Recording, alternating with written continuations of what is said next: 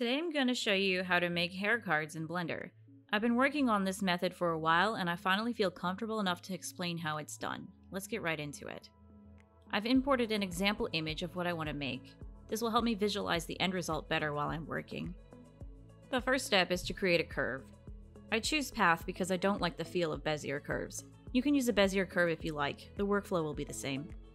You want to use the same settings I'm using here in the shape and geometry menu. We're basically telling the curve that we want to make it look like a strip and be relatively low poly.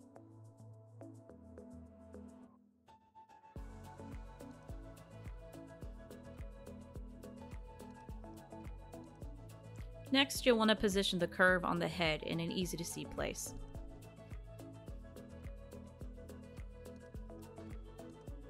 I like to set up my material at this point so I can more easily visualize what the hair will look like while I'm working. For my textures, I'll be using Zinpia's hair textures. There is a link to them in the description of the video. I add three image textures, one for the base color, one for the alpha, and one for the normal map. Make sure your normal map's color space is set to non-color and that it's passing through a normal map node. Also, ensure that your blend mode is set to alpha hashed. You'll need to make sure your rendering engine is set to Eevee to enable this setting. You can see the hair is still not looking quite right. We'll need to add a mapping node and a texture coordinate node. Connect the vector output into the vector inputs for all three image texture nodes first. Then you'll want to connect the texture coordinate node's UV output to the mapping node's vector input. If you're using different textures, you'll have to play around with these settings more, until the texture starts to look like hair. If you're using Zinpia's hair texture pack, you can just use the same settings I'm using.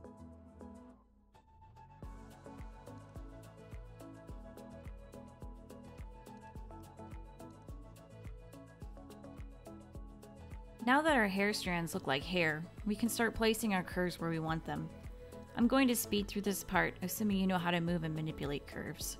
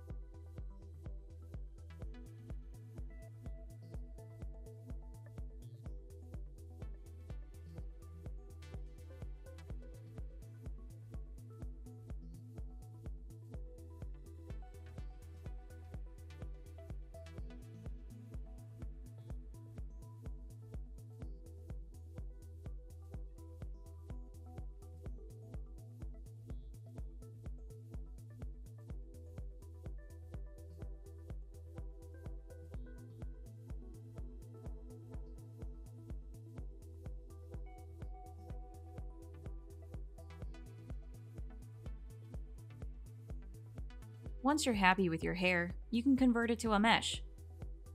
Then you're going to remove the mapping node from our texture and manually UV map each strand. I like to go by section, so I'll start off with the hair on the scalp. This hair won't need to take advantage of the alpha map, so I'll be placing it entirely inside one of the textures. Next, I'll be working on the ponytail. I'll try to UV the strands between a few hair textures to give it diversity.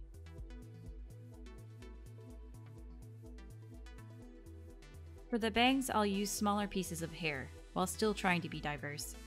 I spent a lot more time on the bangs texture placement. This was the most time consuming part.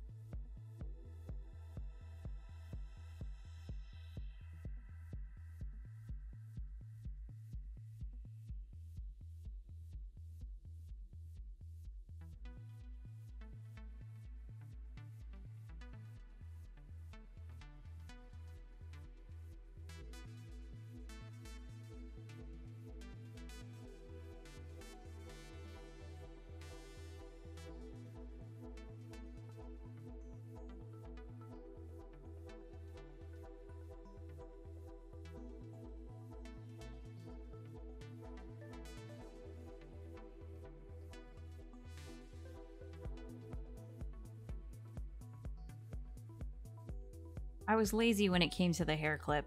You can texture these kinds of things however you like. I ended up cheesing it to look like hair, sort of.